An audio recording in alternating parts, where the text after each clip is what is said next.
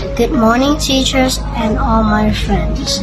When you're updated and watching the news, and when you see that a flood is coming in 30 minutes, go plan what to do first. And when you have about 10 minutes left, go to the tallest building of the park and bring your pets. And don't forget to secure the food and go to the tallest part and hide. And when the flood is gone, go down and see is there anybody for some help. Good afternoon, everyone. This is the project or activity that I got it to do with my friends. The project is if their house get flood, what do we do and how to protect the pets. First one, keep your furniture or things at the top of the house. And the second one, you can go help or not. If you can or cannot, just go.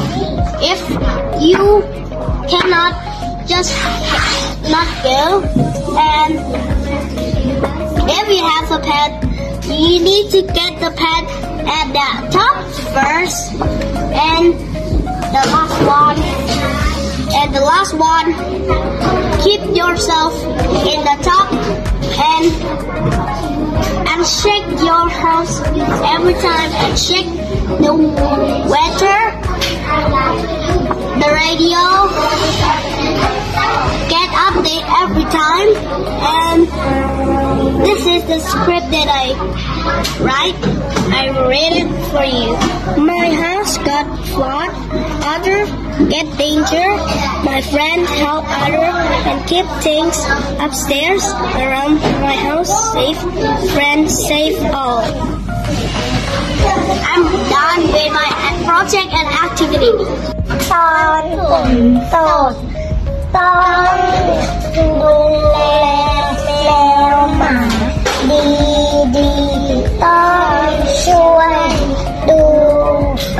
คนดูและคนให้ดีดี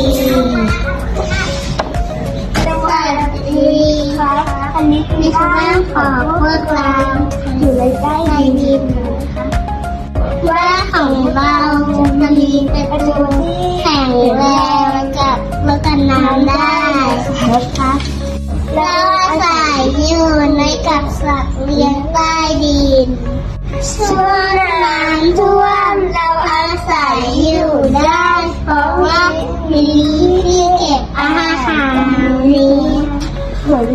在了梦乡里。